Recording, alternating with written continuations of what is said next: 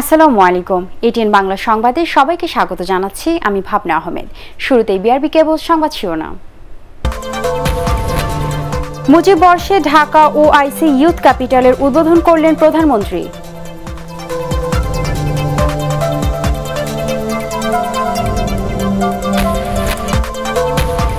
বাইরের প্রভাবে স্বাধীনভাবে কাজ করা যায় না বললেন স্বাস্থ্যমন্ত্রী। করোনা মোকাবেলায় বড় চ্যালেঞ্জ, মন্তব্য নতুন মহাপরিচালকের।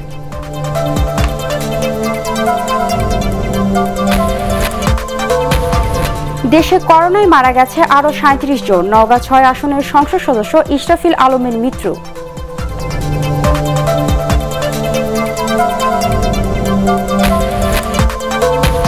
বৃষ্টিতে তলিয়ে গেছে জামালপুর শহর। মন্ত্রিসভায় বন্যা দুর্গতদের সব ধরনের সহায়তার নির্দেশনা প্রধানমন্ত্রী শেখ হাসিনার।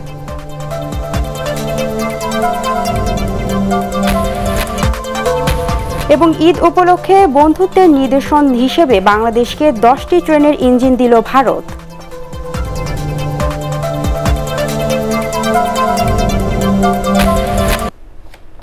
শুনছিলেন বিআরবি কেবল সংবাদ শিরোনাম। এবারে বিস্তারিত সংবাদ।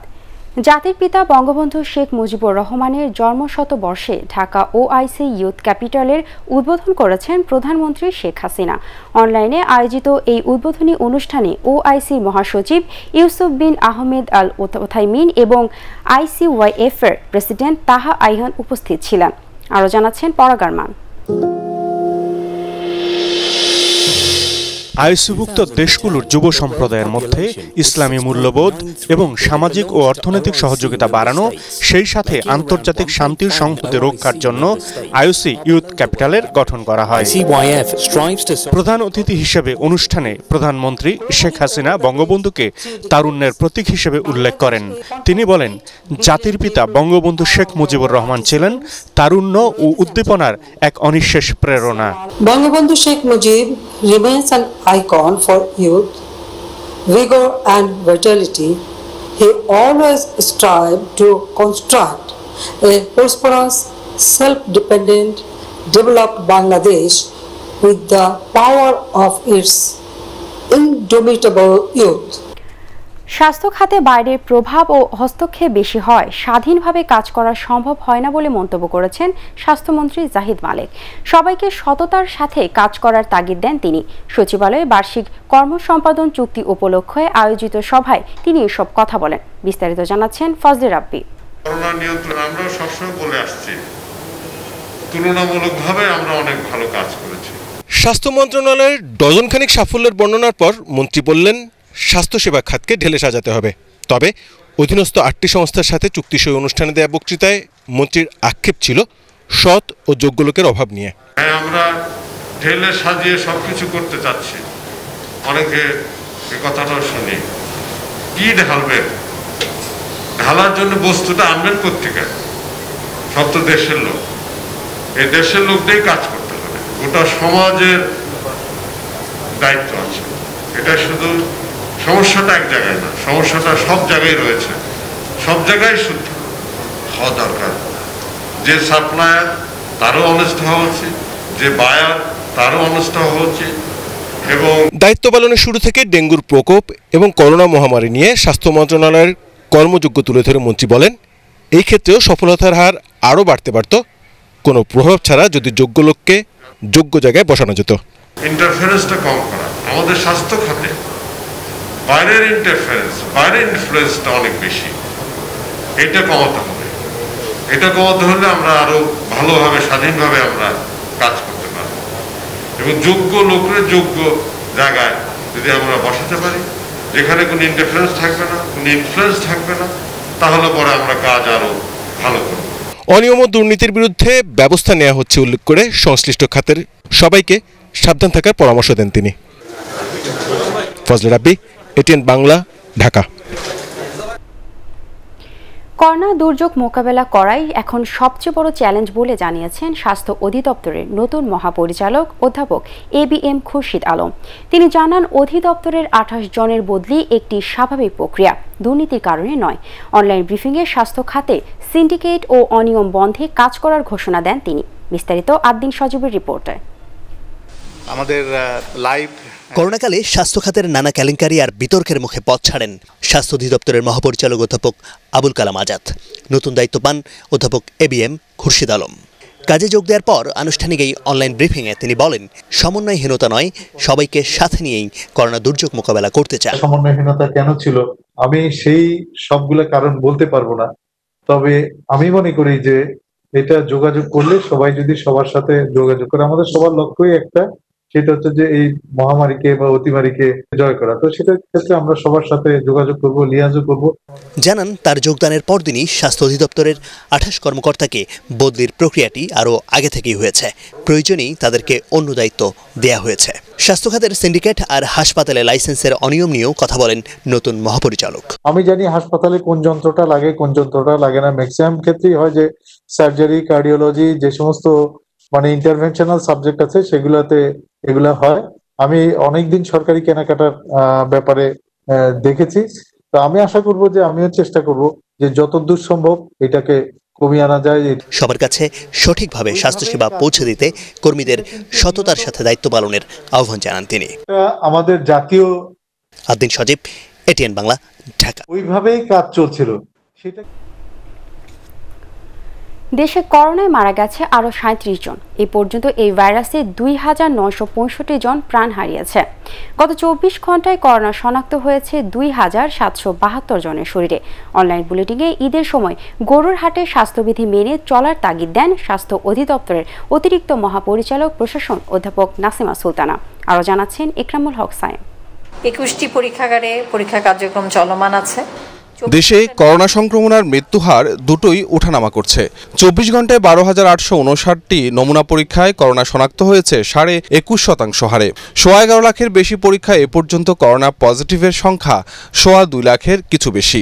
চব্বিশ ঘণ্টা যা নমুনা পরীক্ষা হয়েছে তাতে শনাক্ত হয়েছে দুই হাজার সাতশো বাহাত্তর জন। চব্বিশ ঘণ্টা শনাক্তের হার একুশ দশমিক পাঁচ ছয় শতাংশ। এ পর্যন্ত মোট শনাক্ত হয়েছেন দুই লক্ষ ছাব্বিশ হাজার দুইশত পঁচিশ জন।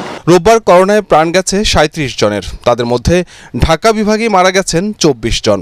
চট্টগ্রাম পাঁচজন খুলনা দুইজন ময়মনসিংহ বিভাগ একজন রংপুর বিভাগ তিনজন বরিশাল বিভাগ দুইজন পরিসংখ্যানে সংক্রমণের শীর্ষে থাকা দেশগুলোর মধ্যে তুরস্ককে পেছনে ফেলে আরও এক ধাপ এগিয়ে ষোলোতম এখন বাংলাদেশ।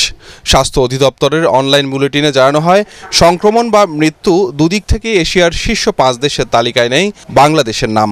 এশিয়ার যে পাঁচটি দেশে সর্বাধিক মৃত্যু রিপোর্ট হয়েছে সে দেশগুলি হলো ইন্ডিয়া ইরান পাকিস্তান টার্কি এবং ইন্দোনেশিয়া।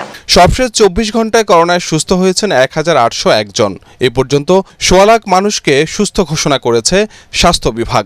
সামনে কোরবানি ঈদ উপলক্ষে গরুর হাটের যে নীতিমালা বা ইকরামুল হক সায়েম এটিএন বাংলা ঢাকা। স্বাস্থ্যবিধিগুলি সর্বাত্মকভাবে মেনে চলুন। নগাঁয় পারিবারিক কবরস্থানে চিরনিদ্রায় শায়িত হতে যাচ্ছেন সংসদ সদস্য ইসরাফিল আলম। বাদ আছর নিজ এলাকা ঝিনা গ্রামের ঈদগাহ মাঠে। তার প্রথম নামাজে জানাজা অনুষ্ঠিত হয়। সংসদ সদস্য আইনউদ্দিন, ব্যারিস্টার নিজামুদ্দিন জলিল জনসহ বিশিষ্টজনরা এতে অংশ নেন। স্বাস্থ্যবিধি রক্ষায় এক স্থানে বাদ মাগরিব অনুষ্ঠিত হচ্ছে ইসরাফিল আলমের দ্বিতীয় জানাজা। এরপরে তাকে দাফন করা হবে। নওগাঁ ছয় আসনের এই সংসদ সদস্য সকালে রাজধানীর একটি হাসপাতালে মারা যান। তিন সপ্তাহ আগে করোনা ভাইরাসে আক্রান্ত হলেও তিন দিন ধরে তাকে লাইফ সাপোর্টে রাখা হয়। চুয়ান্ন বছরের ইসরাফিল আলম শীর্ষস্থানীয় শ্রমিক নেতা ছিলেন। তার মৃত্যুতে রাষ্ট্রপতি আব্দুল হামিদ ও প্রধানমন্ত্রী শেখ হাসিনা গভীর শোক জানান। করোনা ভাইরাস ও উপসর্গ নিয়ে দেশের বিভিন্ন জেলায় কমেছে মৃতের সংখ্যা। গত চব্বিশ ঘন্টায় বিভিন্ন অঞ্চল থেকে সাতজনের মৃত্যুর খবর পাওয়া গেছে। এর মধ্যে খুলনায় তিনজন, বরিশাল বিভাগে দুজন এবং নোয়াখালী ও সুনামগঞ্জে একজন করে মারা গেছেন। এছাড়া বিভিন্ন অঞ্চলে কমছে আক্রান্তের সংখ্যা।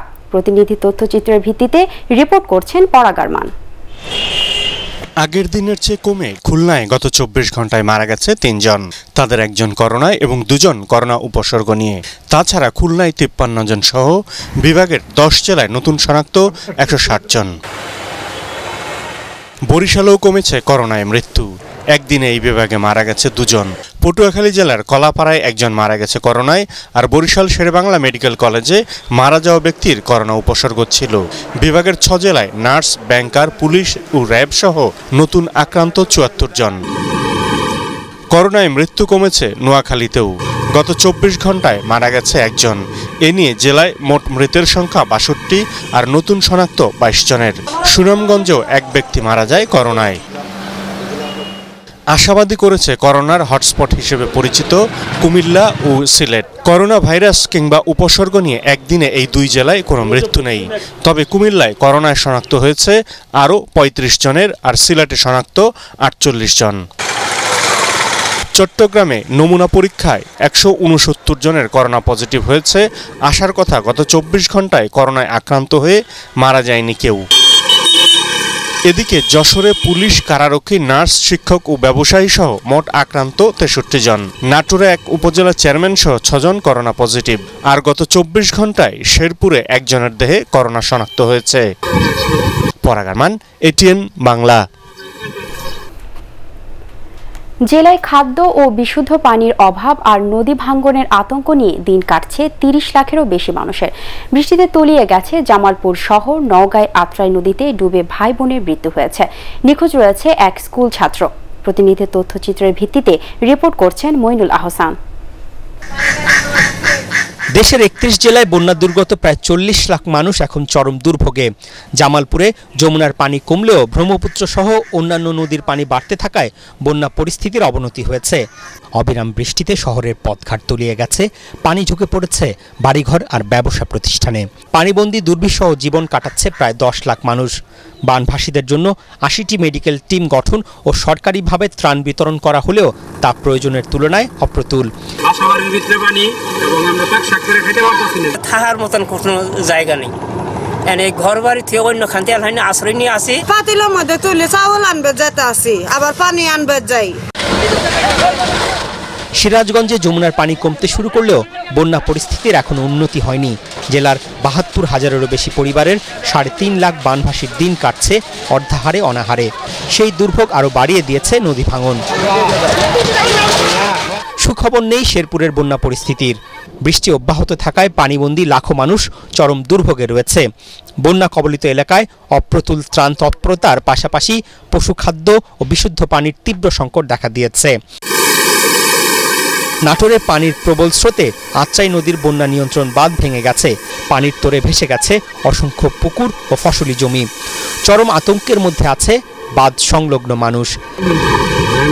রাজবাড়িতে পদ্মার পানি বাড়ছে। ফলে জেলার সদর, গোয়ালন্দ, পাংশা, কালুখালী উপজেলার প্রায় পঞ্চাশ হাজার মানুষ পানিবন্দী হয়ে পড়েছে। এছাড়া দৌলদিয়া ফেরিঘাটের দুইটি সংযোগ সড়ক তলিয়ে যাওয়ায় ঝুঁকি নিয়ে যাত্রী ও যানবাহন পারাপার হচ্ছে। নওগাঁয় ছোট যমুনা ও আত্রাই নদীর পাড়ের বাঁধের অংশ দিয়ে পানি ঢুকে প্রতিদিন নতুন নতুন এলাকা প্লাবিত হচ্ছে। আত্রাইয়ে পানিতে ডুবে ভাই বোনের মৃত্যু হয়েছে। আর ছোট যমুনা নদীতে গোসল করতে গিয়ে এক ছাত্র নিখোঁজ রয়েছে। টাঙ্গাইলে নতুন নতুন এলাকা প্লাবিত হচ্ছে। জেলার দশটি উপজেলায় প্রায় সাড়ে চার লাখ মানুষ পানিবন্দী। পদ্মা ও কীর্তিনাশা নদীর পানি বাড়তে থাকায় শরীয়তপুরের বন্যা পরিস্থিতির অবনতি হয়েছে। এ জেলায় পানিবন্দী প্রায় তিন লাখ মানুষ। প্রতিদিনই পানি বাড়ছে মুন্সীগঞ্জের বিভিন্ন এলাকায়। সরকারি হিসেবে মুন্সীগঞ্জের চারটি উপজেলার একুশটি ইউনিয়নের একশো চৌষট্টিটি গ্রাম প্লাবিত হয়েছে। ক্ষতিগ্রস্ত হয়েছে প্রায় বত্রিশ হাজার পরিবার। এদিকে বন্যায় সুনামগঞ্জ জেলার সদর থেকে উপজেলা সংযোগ সড়ক সহ বিভিন্ন ইউনিয়ন ও গ্রামীণ সড়কের অবস্থা বেহাল হয়ে পড়েছে। মইনুল হাসান, এটিএন বাংলা। বন্যা দুর্গতদের সব ধরনের সহায়তার নির্দেশ দিয়েছেন প্রধানমন্ত্রী শেখ হাসিনা। এছাড়া দেশের যেসব স্থানে বন্যা আশ্রয় কেন্দ্র নেই, সেখানে শিক্ষা প্রতিষ্ঠান খুলে দেওয়ার নির্দেশ দিয়েছেন তিনি। মন্ত্রিসভা বৈঠকে প্রধানমন্ত্রী এসব নির্দেশনা দিয়েছেন বলে জানিয়েছেন মন্ত্রী পরিষদ সচিব খন্দকার আনোয়ারুল ইসলাম। সমুদ্রপৃষ্ঠের উচ্চতা বেড়ে যাওয়ায় এবারে বন্যা দীর্ঘস্থায়ী হতে পারে বলেও আশঙ্কা প্রকাশ করা হয় বৈঠকে। এজন্য সরকারকে সব ধরনের প্রস্তুতি নেওয়ার নির্দেশনা দিয়েছেন প্রধানমন্ত্রী। বৈঠকে বাংলাদেশ মাদ্রাসা শিক্ষা বোর্ড আইন দু বিশের খসড়ার চূড়ান্ত অনুমোদন দেওয়া হয়। মাননীয় প্রধানমন্ত্রী একদম ক্লিয়ার ইনস্ট্রাকশন দিয়ে দিছে, যত রকমের সাহায্য সহযোগিতা মানুষের দরকার সবগুলো করতে হবে। বিশেষ করে কোভিডের সময় জাতীয় বন্যা তার একটু বেশি কেয়ারফুল থাকতে হবে এবং মাননীয় প্রধানমন্ত্রী বিশেষ করে ইনস্ট্রাকশন দিচ্ছেন যে রূপা আমন যেটাকে চি আমন বলি আমরা, সেটা যেন আমরা খুব অ্যাটেন্টিভ থাকি এবং সেটার পুরো সুযোগটা যদি আমরা ঠিকভাবে নিতে পারি তাহলে এবার আমাদের বড়োতে যেরকম একটা এক্সেস প্রোডাকশন হয়ে গেছে, তো এটা আশা করা যাচ্ছে আমন বা টি আমন দুটো মিলে, আমাদের প্রোডাক্টিভিটি ইনশাল্লাহ ভালো হলে সেক্ষেত্রে এটা আমাদের জন্য একটা বড় একটা হাতিয়ার হবে যে স্বাস্থ্যবিধি মেনে বন্যাতদের পাশে দাঁড়াতে আওয়ামী লীগ নেতা কর্মীদের নির্দেশ দিয়েছেন প্রধানমন্ত্রী শেখ হাসিনা। স্বেচ্ছাসেবক লীগের ছাব্বিশতম প্রতিষ্ঠা বার্ষিকীর অনুষ্ঠানে ভিডিও কনফারেন্সে তিনি এই নির্দেশ দেন। তিনি বলেন, যত দুর্যোগই আসুক, সোনার বাংলা গড়তে কাজ করবে তার সরকার। আরও জানাচ্ছেন মাহবুব কবির চপল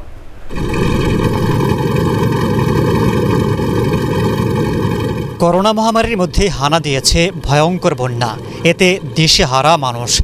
এমনিতেই কাজ নেই, তার উপর ডুবে গেছে মাথা গোঁজার ঠাই। এবারের বন্যা দীর্ঘ হতে পারে বলে আভাস দিয়েছে জাতিসংঘ। সতর্ক করেছেন প্রধানমন্ত্রী শেখ হাসিনাও। সাহায্য করছেন সরকারিভাবে। স্বেচ্ছাসেবক লীগের প্রতিষ্ঠা বার্ষিকীর আলোচনায় ভিডিও কনফারেন্সে যুক্ত হয়ে প্রধানমন্ত্রী বন্যা দুর্গতদের পাশে দাঁড়াতে নেতাকর্মীদেরও নির্দেশ দেন। বিভিন্ন কাজ করে অসুস্থ মানুষ, করোনা ভাইরাসে অসুস্থ মানুষকে সাহায্য করে স্বেচ্ছাসেবক লীগ একটা দৃষ্টান্ত স্থাপন করেছে। সবাই স্বাস্থ্যবিধি মেনে চলতে হবে। এবং যেখানেই আছে, প্রত্যেকে যেন বা স্বাস্থ্যবিধি মেনে চলবে, যেন যেন এই করোনা ভাইরাস থেকে মানুষ পায়, সবাই পায়। আর মানুষের পাশে যেভাবে আমরা দাঁড়াচ্ছেন এভাবে সবাই দাঁড়াবে আমি চাই। উন্নত বাংলাদেশ গড়তে তার সরকার কাজ করছে বলেও জানান তিনি।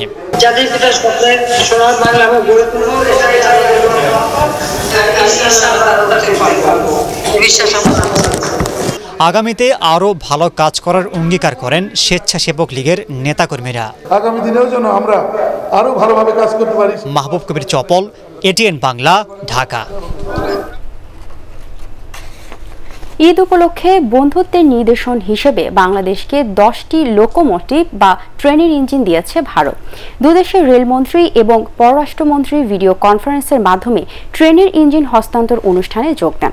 বাংলাদেশের অর্থনৈতিক অবকাঠামো ও নিরাপত্তা সহ সার্বিক বিষয়ে উভয় দেশের মধ্যে সোনালী অধ্যায় চলছে উল্লেখ করে ভবিষ্যতে তা অব্যাহত রাখার ঘোষণা দেন দুদেশের মন্ত্রীরা। বিস্তারিত শফিকুল ইসলাম শামীমের রিপোর্টে। রেলপথকে ঢেলে সাজাতে কয়েক বছর ধরে নতুন ইঞ্জিন, বগি কেনার পাশাপাশি লাইন সম্প্রসারণের কাজ করে যাচ্ছে রেল মন্ত্রণালয়। এবার প্রতিবেশী দেশ ভারতের কাছ থেকে উপহার হিসেবে মিলেছে দশটি ট্রেনের ইঞ্জিন। লোকোমোটিভ ট্রেন হস্তান্তর অনুষ্ঠানে বাংলাদেশের রেলপথ মন্ত্রী বলেন, ভারতের দেয়া রেল ইঞ্জিন যোগাযোগের ক্ষেত্রে নতুন মাত্রা যোগ করবে। India is a committed partner of Bangladesh in railway transportation sector. I am grateful to the government of India for giving us continuous support in the railways transportation sector এ সময় পররাষ্ট্রমন্ত্রী বলেন এ ধরনের সহযোগিতা দুই দেশের সম্পর্ককে নতুন উচ্চতায় নিয়ে যাবে।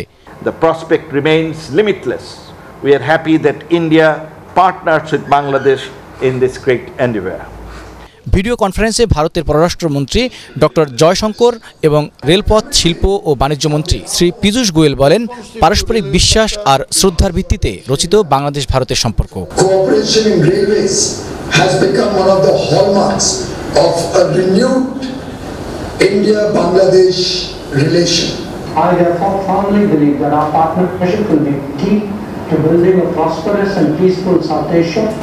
This will be a truly befitting tribute to the vision of Bangabandhu in this historic Mujib Bash.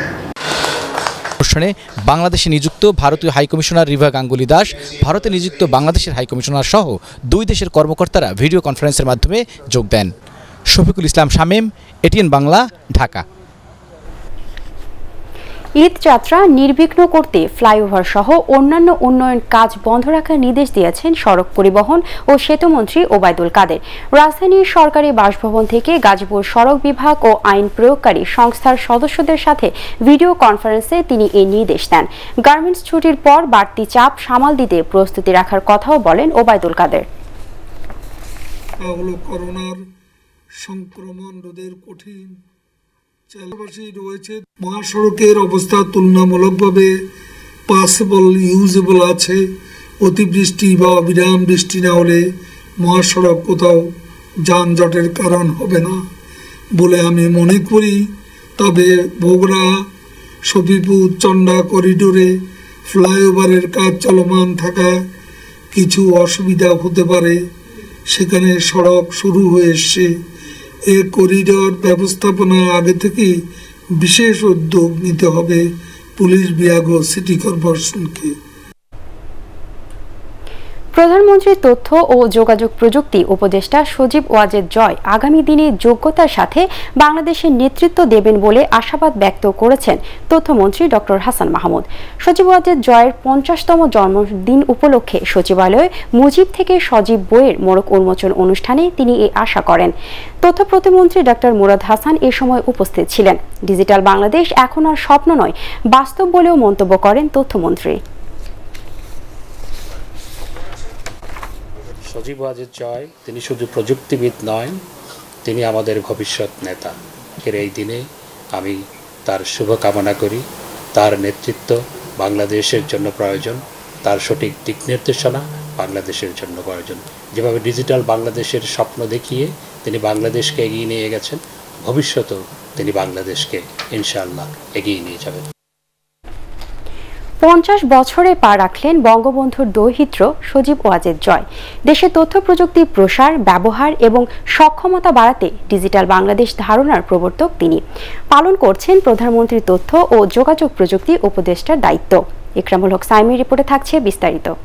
এখন সবচেয়ে গুরুত্বপূর্ণ হচ্ছে আমাদের এই আইটি ইন্ডাস্ট্রি ডেভেলপ করা। সজীব ওয়াজেদ জয়। ডিজিটাল বাংলাদেশ গড়ার নেপথ্যের কারিগর কিংবা আইসিটি বিপ্লবের স্থপতি বলা হয় তাকে। প্রযুক্তি খাতে তার মেধায় আপ্লুত হয়ে প্রধানমন্ত্রী শেখ হাসিনা বলেছিলেন একজন কম্পিউটার ইঞ্জিনিয়ারের মা পরিচয় দিতে গর্ববোধ করেন তিনি। তাই দায়িত্ব দেন তার তথ্য প্রযুক্তি উপদেষ্টার।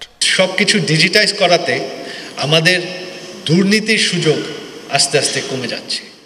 দু হাজার আট সালের নবম জাতীয় সংসদ নির্বাচনে আওয়ামী লীগের নির্বাচনী ইশতেহারে ডিজিটাল বাংলাদেশ এই ধারণাটি জয়ের উদ্যোগে যুক্ত হয়েছিল এরপর দল ক্ষমতায় এলে শিক্ষা প্রতিষ্ঠান থেকে শুরু করে সরকারের দাপ্তরিক সব কাজে প্রযুক্তির ব্যবহার ও সক্ষমতা বাড়াতে নানামুখী উদ্যোগ নেন বঙ্গবন্ধুর দৌহিত্র Our ICT ministry alone has taken up projects to train up to 40,000 uh, IT experts, many of them for the BPO industry. ছাত্র অবস্থায় রাজনীতির প্রতি অনুরক্ত হলেও জয় দাপ্তরিকভাবে দলে নাম লেখান দু হাজার দশ সালে। রংপুর জেলা আওয়ামী লীগের প্রাথমিক সদস্য হন তিনি। সামাজিক যোগাযোগ মাধ্যমেও বেশ সক্রিয় সজীব ওয়াজেদ জয়। আওয়ামী লীগ ঐক্যবদ্ধ হয়ে কাজ করলে আওয়ামী লীগকে কেউ ভাড়াতে পারে না। উনিশশো সালের অগ্নিঝরার সময়ে সাতাশ জুলাই ঢাকায় জন্মগ্রহণ করেন সজীব ওয়াজেদ জয়। বাঙালির জয় অবধারিত জেনেই তার সাথে মিলিয়ে নানা শেখ মুজিবুর রহমান জয়ের নাম রেখেছিলেন। উনিশশো পঁচাত্তর সালের পনেরো আগস্ট বঙ্গবন্ধু হত্যাকাণ্ডের সময় বাবা মার সঙ্গে জার্মানি ছিলেন শিশু জয়। পরে মায়ের সঙ্গে রাজনৈতিক আশ্রয়ে চলে যান ভারতে। সেখানে কাটে শৈশব কৈশোর। পরে যুক্তরাষ্ট্রের university of Texas at Arlington থেকে কম্পিউটার সায়েন্সে স্নাতক ডিগ্রি লাভ করেন এবং হার্ভার্ড বিশ্ববিদ্যালয় থেকে লোক প্রশাসনে স্নাতকোত্তর অর্জন করেন তিনি। দু হাজার দুই সালে ক্রিস্টিন নামে এক মার্কিন মেয়েকে বিয়ে করেন জয়। তাদের একমাত্র কন্যা সন্তানের নাম সোফিয়া। আমরা আইটি স্কিল লেবার এক্সপোর্ট করা আরম্ভ করব। Ikramul Haque Sayem ATN Bangla Dhaka. Export cross করা এটা আমি মনে করি করোনা মহামারীর মতো বন্যা মোকাবেলায়ও সরকারের ব্যর্থতা দুর্গত মানুষকে আতঙ্কিত করে তুলেছে বলে মন্তব্য করেছেন বিএনপি মহাসচিব মির্জা ফখরুল ইসলাম আলমগীর। বন্যা পরিস্থিতি নিয়ে রাজধানীর উত্তরার বাসা থেকে ভার্চুয়াল সংবাদ সম্মেলনে তিনি এ মন্তব্য করেন। তিনি অভিযোগ করেন, সরকারি সহায়তার অভাবে বর্ণাত বহু মানুষ অসহনীয় দুর্ভোগের দিন কাটাচ্ছেন। মির্জা ফখরুল দাবি করেন, বর্ষা মৌসুমে ভারত সবকটি বাঁধ খুলে দেওয়ায় প্রতি বছরই নদী অববাহিকায় বসবাস করা মানুষকে বন্যার কবলে পড়তে হচ্ছে। নতজানু পররাষ্ট্রনীতির কারণে প্রায় প্রতি বছর বাংলাদেশের নদী অববাহিকায় বসবাসকারী মানুষেরা এই বন্যায় আক্রান্ত হয়ে সর্বশান্ত হচ্ছে। করোনা মোকাবেলায় সরকার যেমন একেবারেই ব্যর্থ, চরম উদাসীনতা, অবহেলা ও দুর্নীতির কারণে গোটা পরিস্থিতি নিয়ন্ত্রণের বাইরে চলে গেছে, ঠিক তেমনি বন্যার বিষয়ে সরকারের নিরবতা, নিষ্ক্রিয়তা মানুষকে আতঙ্কগ্রস্ত করছে। রাজধানীতে ডেঙ্গুর প্রকোপ যাতে বাড়তে না পারে, সেজন্য সব ধরনের প্রস্তুতি রয়েছে ঢাকা উত্তর সিটি কর্পোরেশনের। স্বল্প ও দীর্ঘমেয়াদী পরিকল্পনা নিয়ে এরই মধ্যে কার্যক্রম শুরু করা হয়েছে। সিটি কর্পোরেশনের পাশাপাশি social and economic enhancement programme সিপের dengue প্রতিরোধে নেওয়া প্রকল্প এডিস মশার প্রযোজন ক্ষেত্র ধ্বংসে সহায়ক হবে বলে মনে করেন সংশ্লিষ্টরা। শফিকুল ইসলাম শামীমের আরেকটি রিপোর্ট। গেল বছরের অভিজ্ঞতা কাজে লাগিয়ে এবার আগেভাগেই ডেঙ্গু প্রতিরোধে প্রস্তুত ঢাকা উত্তর সিটি কর্পোরেশন। শুধু সিটি কর্পোরেশন নয়, তাদের পাশাপাশি স্টার্ট ফান্ড বাংলাদেশ এবং ইউকেইডের সহযোগিতায় ঢাকা উত্তরের দুই, তিন, পাঁচ এবং ছয় নং ওয়ার্ডে ডেঙ্গু প্রতিরোধে প্রকল্প বাস্তবায়ন করছে social and economic enhancement programme SEEP এমন পরিস্থিতিতে ঢাকা উত্তরের মেয়র বলেন, এবছর আগাম প্রস্তুতি থাকায় ডেঙ্গু নিয়ন্ত্রণে রাখা সম্ভব হবে। আইডিসিআর এর সাথে আমাদের সিটি কর্পোরেশন কাজ করছে। আমরা নতুন একটি অ্যাপস তৈরি করেছি। যেসব আমাদের চিরুনি অভিযানের সময় যেসব বাড়া বাড়ি বাসা বাড়িতে যাচ্ছি আমরা এই অ্যাপসের মাধ্যমে এটা এলাকা আমরা নিজেদের কাছে স্টোর করছি। এবং পরবর্তীতে আমরা যে কোনো সময় ওই বাসা বাড়িতে কিন্তু যাব গিয়ে দেখব। তখন কিন্তু ফাইন করছি আমরা। বিভিন্ন ওয়ার্ডের জনপ্রতিনিধিরাও চলতি বর্ষা মৌসুমে তাদের তৎপরতা বাড়িয়েছেন। এডিস মশার প্রজনন কেন্দ্র ধ্বংস করার জন্য মশক কর্মী সহ পরিচ্ছন্নতা কর্মীরা কাজ করে যাচ্ছেন। মেয়র মহোদয়ের নেতৃত্বে মাননীয় মন্ত্রীর ওয়ার্ডারে আমরা দুইটা চিরুনি অভিযানও কমপ্লিট করে ফেলছি। করোনা মহামারীর ভিতরে পাশাপাশি এই মশকের যে উৎপাতটা এটা আমরা মোটামুটি আশা করি আমরা সফল হয়েছি। আমরা আগে থাকতে পদক্ষেপ নেওয়াতে। ঢাকা উত্তর সিটি কর্পোরেশনের প্রধান স্বাস্থ্য কর্মকর্তা জানান দীর্ঘমেয়াদী পরিকল্পনার পাশাপাশি তাৎক্ষণিকভাবে কার্যকরী পদক্ষেপ নেয় এবছর ডেঙ্গুর বিস্তার ঘটবে না। এডিস মশা নিয়ন্ত্রণের জন্য জনগণের অংশগ্রহণ হলো নব্বই শতাংশ কাজ করতে হবে। আর প্রতিষ্ঠানগুলো কাজ করবে হলো দশ শতাংশ। সেই হিসাবে আমরা শুরু থেকে জনগণকে সম্পৃক্ত করার বিষয়ে আমরা খুব জোর দিই। এডিস মশার লার্ভা নিধনের পাশাপাশি নিয়মিত ওষুধ ছিটানো অব্যাহত রেখেছে ঢাকার দুই city corporation. Shafiqul Islam Shamim, ATN Bangla, Dhaka. দেশে জঙ্গি হামলার সুনির্দিষ্ট কোনো নিরাপত্তা ঝুঁকি নেই বলে জানিয়েছেন কাউন্টার টেরোরিজম ইউনিটের প্রধান মনিরুল ইসলাম। জঙ্গি নেটওয়ার্ক ভেঙে দেওয়া হয়েছে জানিয়ে তিনি বলেন, বড় ধরনের হামলার কোনো ক্ষমতা নেই তাদের। বিভিন্ন গুরুত্বপূর্ণ উৎসবকে কেন্দ্র করে দেশের নিরাপত্তা ব্যবস্থা জোরদার করা হয় বলেও জানান তিনি। তারই অংশ হিসেবে সম্প্রতি পুলিশ সদর দপ্তর থেকে পুলিশের বিভিন্ন ইউনিটকে সতর্ক থাকার নির্দেশ দেওয়া হয়। মনিরুল ইসলাম আরও জান বলেন, জঙ্গিদের ব্যাপারে আইন শৃঙ্খলা বাহিনী সর্বদা সতর্ক রয়েছে। কম্প্রিহেন্সিভ যে অ্যাপ্রোচ অর্থাৎ whole of government whole of society approach যেটা কাউন্টার টেরিজমে সেটা গ্রহণ করেছি। পাশাপাশি আমরা যে ল এনফোর্সমেন্ট অ্যাপ্রোচ যেটা রয়েছে, সেটিও আমরা কার্যকর রেখেছি। এটা সমন্বয় এবং সকলে যদি আমরা সতর্ক থাকি, আমরা মনে করি যে বাংলাদেশে জঙ্গিবাদীরা কখনোই মাথা ছাড়া দিয়ে উঠতে পারবে না। ডিজিটাল বাংলাদেশ গড়তে প্রধানমন্ত্রীর তথ্য ও যোগাযোগ প্রযুক্তি উপদেষ্টা সজীব ওয়াজেদ জয় নিরলসভাবে কাজ করছেন বলে জানিয়েছেন তথ্য ও যোগাযোগ প্রযুক্তি প্রতিমন্ত্রী জুনাইদ আহমেদ পলক। সজীব ওয়াজেদ জয়ের পঞ্চাশতম জন্মদিন উপলক্ষে আইসিটির বিভাগের অনলাইন আলোচনায় তিনি এসব কথা জানান। দেশের তরুণদের সাথে নিয়ে ডিজিটাল তথ্য সেবা সব মানুষের দোরগোড়ায় পৌঁছে দিতে সরকার প্রতিশ্রুতিবদ্ধ বলেও জানান তিনি। বঙ্গবন্ধুর দৌহিত্র সজীব ওয়াজেদ জয়ের জন্মদিন উপলক্ষে রাজধানীতে গাছ লাগিয়েছেন আওয়ামী লীগ। দলটির বন ও পরিবেশ বিষয়ক উপকমিটির উদ্যোগে গণপূর্ত ভবনের সামনে বিভিন্ন প্রজাতির গাছ লাগানো হয়। ডিজিটাল বাংলাদেশের স্বপ্নদ্রষ্টা সজীব ওয়াজেদ জয়ের নেতৃত্বে ভবিষ্যতে বাংলাদেশ আরও এগিয়ে যাবে বলে মন্তব্য করেন আওয়ামী লীগের পরিবেশ বিষয়ক সম্পাদক দেলোয়ার হোসেন।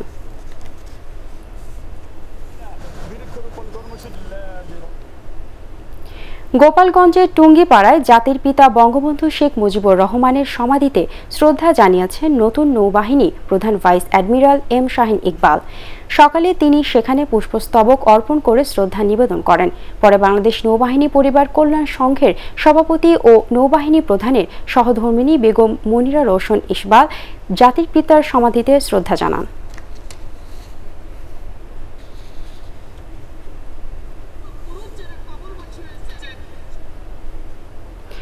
চাঁদাবাজির মামলায় বঙ্গলীগের সভাপতি শওকত হোসেন মিয়াকে কারাগারে পাঠিয়েছে আদালত।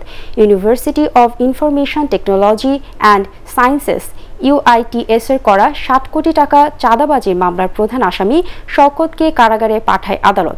ভাটারা থানা পুলিশ এই মামলার মূল অভিযুক্ত শওকতকে আদালতে হাজির করলে মহানগর হাকিম বাকি বিল্লা এ আদেশ দেন। অভিযুক্ত শওকত বাড়িধারার জামালপুর টুইন টাওয়ারের মালিক। ইউআইটিএস এর পক্ষে জুবাইরুল ইসলাম ও আব্দুল মান্নান মামলার শুনানিতে অংশ নেন।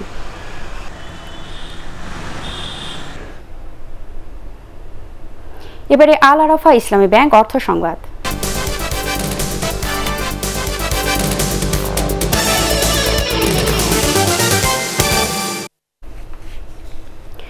যত্র তত্র ঈদের হাট বসালে এবং ইজারাদাররা শর্ত না মানলে কঠোর ব্যবস্থা নেওয়া হবে বলে হুঁশিয়ারি করে দিয়েছেন ঢাকা দক্ষিণ সিটি কর্পোরেশনের মেয়র ব্যারিস্টার শেখ ফজলেনুর তাপস।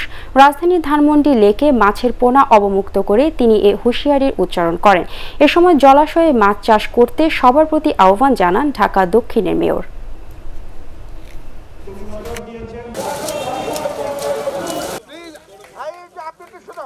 ঢাকা দক্ষিণ সিটি কর্পোরেশন কোনো অবৈধ হাট, গরুর, ছাগল অথবা কোনো রকম কোনো অবৈধ হাটের কোনো সুযোগ আমরা রাখি নেই। কঠোরভাবে সেটা নিয়ন্ত্রণ করা হচ্ছে।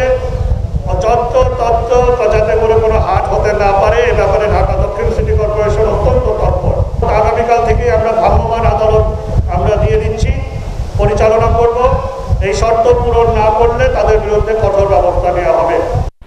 স্বেচ্ছাসেবক লীগের ছাব্বিশতম প্রতিষ্ঠা বার্ষিকী উপলক্ষে সকালে রাজধানীর ধানমন্ডি বত্রিশ নম্বরে বঙ্গবন্ধুর প্রতিকৃতিতে ফুল দিয়ে শ্রদ্ধা জানান নেতাকর্মীরা।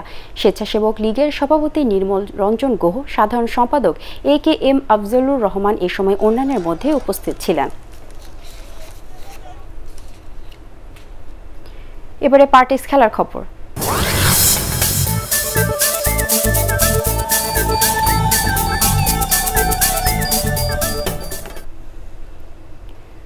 সামদোরিয়াকে দুই শূন্য গোলে হারিয়ে ইতালিয়ান সিরিয়াতে টানা নবম শিরোপা জিতেছে জুভেন্টাস। জিতলে চ্যাম্পিয়ন এমন সমীকরণের ম্যাচে প্রথমার্ধের যোগ করার সময়ে দারুণ এক শটে জুভেন্টাসকে এগিয়ে দেন ক্রিস্টিয়ানো রোনালদো। চলতি লিগে এটি তার একত্রিশতম গোল। দ্বিতীয়ার্ধে ব্যবধান বাড়ানোর চেষ্টা করে জুভেন্টাস।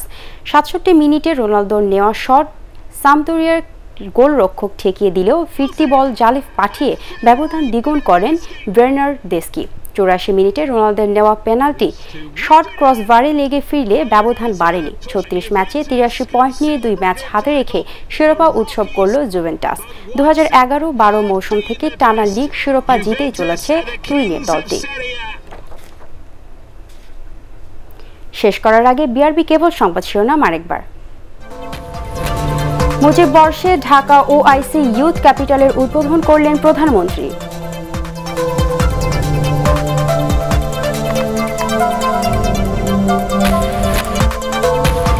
বাইরের প্রভাবে স্বাধীনভাবে কাজ করা যায় না বললেন স্বাস্থ্যমন্ত্রী। করোনা মোকাবেলায় বড় চ্যালেঞ্জ, মন্তব্য নতুন মহাপরিচালকের।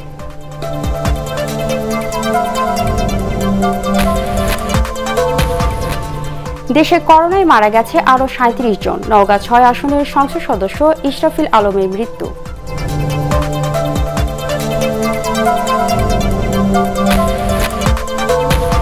বৃষ্টিতে তলিয়ে গেছে জামালপুর শহর। মন্ত্রিসভায় বন্যা দুর্গতদের সব ধরনের সহায়তার নির্দেশনা শেখ হাসিনার।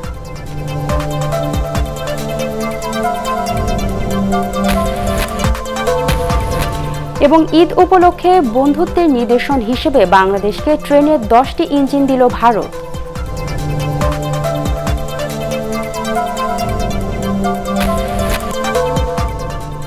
দর্শক, পরবর্তী সংবাদ দেখার আমন্ত্রণ জানিয়ে এখনকার মতো শেষ করছি। সবাই ঘরে থাকুন, নিরাপদে থাকুন। এছাড়া এটিএন বাংলার সংবাদ ইউটিউবে দেখতে ব্রাউজ করুন, YouTube slash ATN Bangla news ধন্যবাদ সবাইকে।